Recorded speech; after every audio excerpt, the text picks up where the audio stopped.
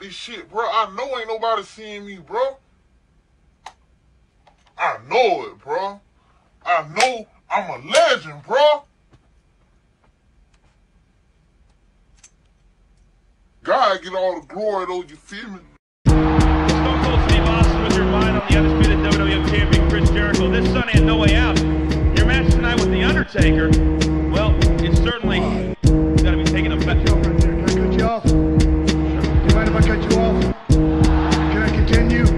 Stop running your mouth. You want to talk about tonight? You want to talk about Sunday? Let's talk about tonight. We're rolling into Jonesboro, Arkansas. I was. Right now I'm excited. I'm all jacked up. I'm flying. I'm ready to go. When I rolled into this town, I was worried. Bobby, I was scared. can you do this for I was nervous. I was I horrified. You know why? Because I found out that this is a dry county. I it. That's right. That's what I said. You know what? You think it's funny? You think it's funny when Stone Cold Steve Austin rolls into a dry county? What? You think it's funny? What? Huh? I got nervous. My skin broke out in hives. I'm itching inside.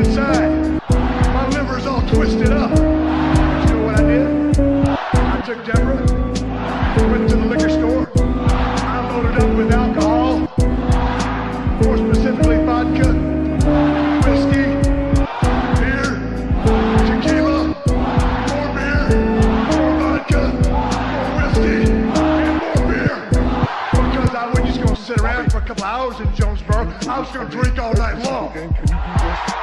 So now, that's right. Now that we're through talking about Jonesboro and being a dry county, I'm excited to be here because I found out that Stone Cold Steve Austin gets to wrestle The Undertaker. What? The Dead Man. What? The Phenom. What? You got the message, didn't you? Stone Cold Steve Austin came out here to Jonesboro and opened up a can of whoop ass, and The Undertaker says that these people,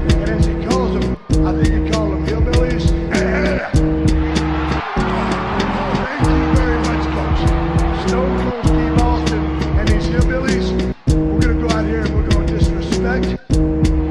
We're gonna disrespect. We're gonna disrespect all over the dead man's ass. Did you read my lips? I do it for you. Did you? I said D Yes, yes. I S R E S P E C T. Ain't that how you spell disrespect?